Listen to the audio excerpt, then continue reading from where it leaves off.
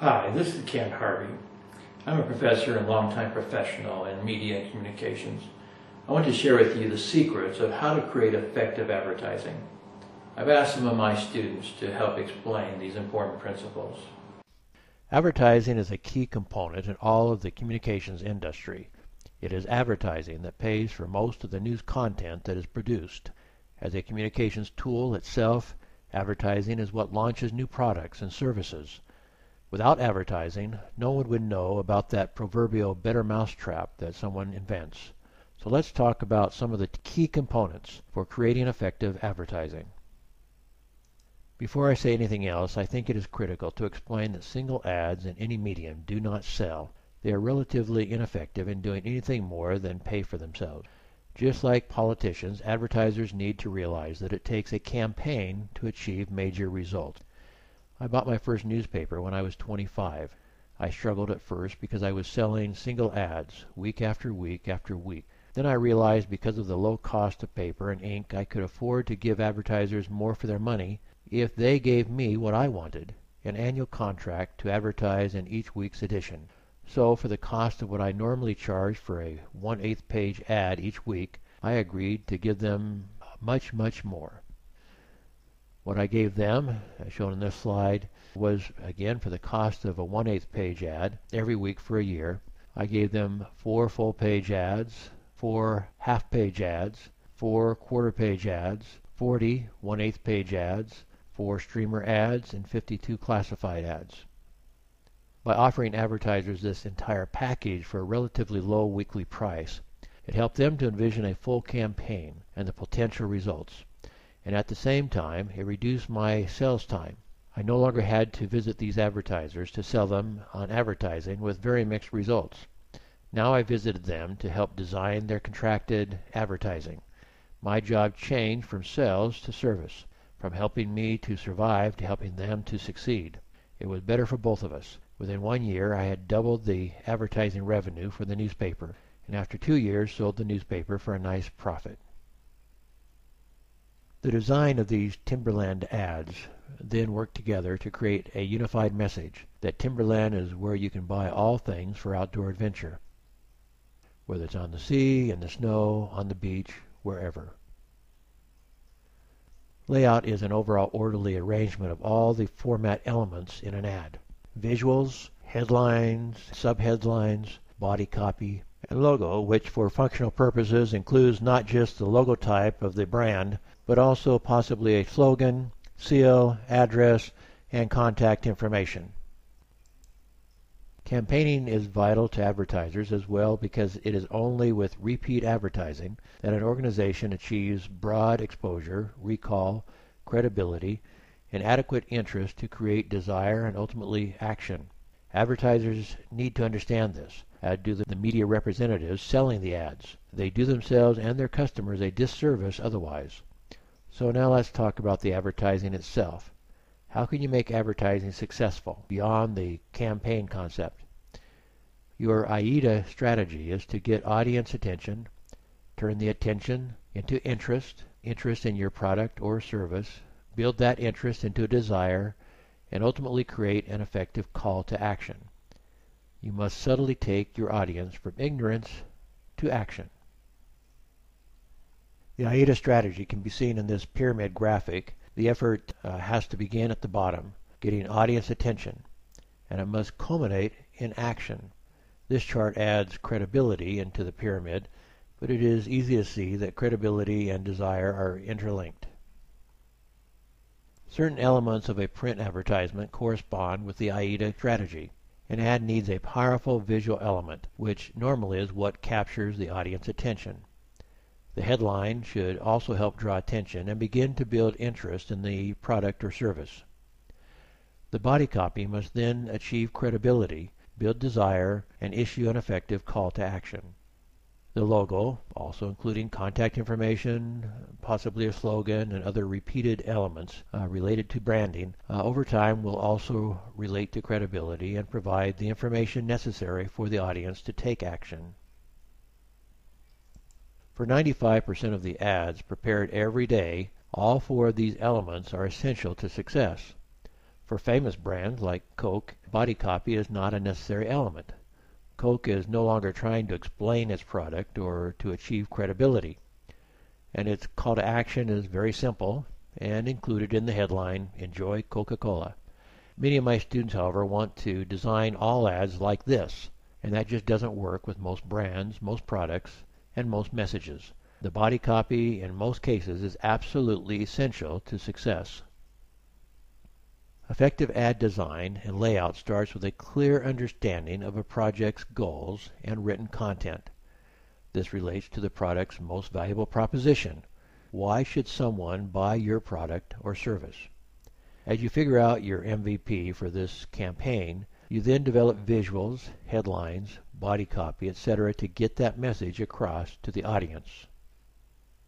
Keep your layout simple. One of the most simple and yet most effective is the poster style ad. It begins with a strong visual element at the top, a powerful headline underneath the graphic, and 50 words of body copy under the headline, and the logo and accompanying information in the lower right corner. This is a modified poster design. The earbuds are intended to look like a doctor's stethoscope, and the ad team used two headlines to convey the same message one as part of the visual and one headline underneath. Then came about 125 words of body text and the logo to the lower right. The 125 words is not excessive, but studies do show that ads begin to lose readers after 50 words, so be careful. An ad needs a center of focus, which is usually achieved with the graphic element, but sometimes with the headline. Everything else should build around this element with a sense of unity. Creating an asymmetrical balance is frequently good, especially with larger ads, such as full-page ads in a newspaper. You may have a large graphic element in the upper left, a smaller graphic element in the center right, and another graphic element in the lower left. It draws the eyes back and forth to all parts of the page. Some advertising experts say these elements achieve the golden rectangle of eye movement into the four quadrants of the ad. In newspaper design, we call such a design the golden triangle because the three graphic elements used to create this visual pattern form a triangle. However, if all ads look the same, even if they are all formatted in what research determines is the most effective format, together they create visual boredom. Advertising design is both an art and a science. We can tell you which formats readers find most effective when put side by side, but it's difficult to judge how much more attention some ads may get by being simply different in a pleasing and creative way. The body copy of this ad starts in the upper right, above the main elements of the photograph and far above the headline. It goes totally against the science of advertising, but it was very effective. The graphic and headline are compelling for those who have this problem of hair loss, so they were willing to change their normal gazing pattern and return to the upper right to read the text. Contrast is important within an ad. Contrasting sizes, shapes, colors, type styles, etc. Contrast, as I already mentioned, is also important in comparing your ad to all the ads surrounding it. What makes yours stand out from the crowd? You should make an easy path for the eye to follow. Make effective use of white space in your ad. Use strong lines to hold together graphics and body copy, and use light and dark relationships to create layout interest. This ad exemplifies the effective use of colors, lines, and white space, as well as proportion. The so-called pixelated girl is the visual focus and the Samsung camera achieves that status. Other graphics are smaller as to not detract from the main elements. This ad seems to break most of the rules. There is no one graphic serving as the center focus, but all the photos as a frame to the headline together create a center of focus. Besides the poster style ad, there are other types, such as this picture window layout, where everything is built into the visual as one graphic. While copy-heavy layout uh, certainly has more than 50 words, some products and services demand more words to tell the story. I use this advertising approach in a political campaign very effectively. These are two pages of the four-page flyer I created when I successfully ran for city council in my home city. I wanted to tell people why they should vote for me, so I made this copy-heavy layout. Out of eight candidates, I spent the least amount of money on my campaign and achieved by far the most votes. This was a full-page political ad for a mayoral candidate in Tampa, Florida. With this news approach, I took the candidate from last place among eight candidates to first place in the polls. The circus-style layout is appropriate for stores with lots of products to advertise, such as this large computer store, or for supermarkets.